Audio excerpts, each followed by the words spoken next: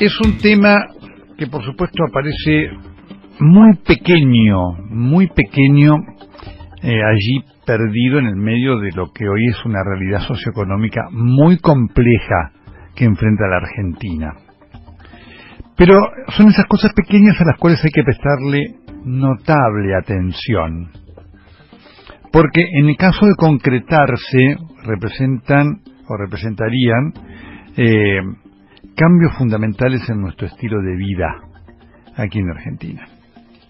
El kirchnerismo quiere volver. Por eso todos los que hablan, bueno, ¿y volverá Cristina o no? Mira, hasta ahora Cristina se va a presentar porque Cristina quiere volver a ser presidenta porque el kirchnerismo quiere volver al poder.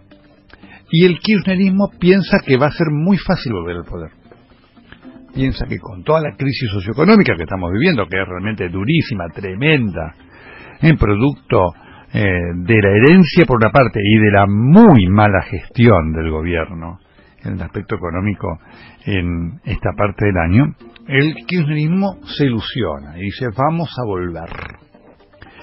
¿Y qué es lo que eh, además tiene el kirchnerismo en su en su nido de pensamiento? Vamos a volver para concretar y completar lo que no pudimos hacer cuando fuimos gobierno.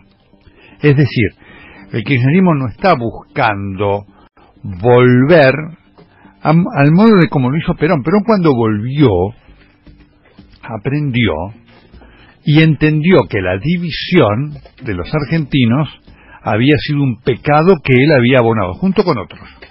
Y se dio la razón con Malvin. ¿No? Perón aprendió. El kirchnerismo no. El kirchnerismo lo que busca es volver ¿eh? por su camino y ahondarlo. Por lo tanto, lo que busca es, lo que tiene como proyecto es un proyecto de profunda división del país y una apropiación del poder total. Una de las cosas que está trabajando el kirchnerismo entonces es la reforma de la Constitución. A estas cosas, por eso digo, es una cosa muy pequeña, muy pequeña, nadie, no tiene ninguna trascendencia para la mayoría de la gente, para la gente de a pie.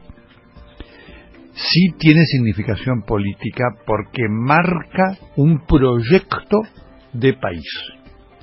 Y un proyecto de país eh, netamente autoritario.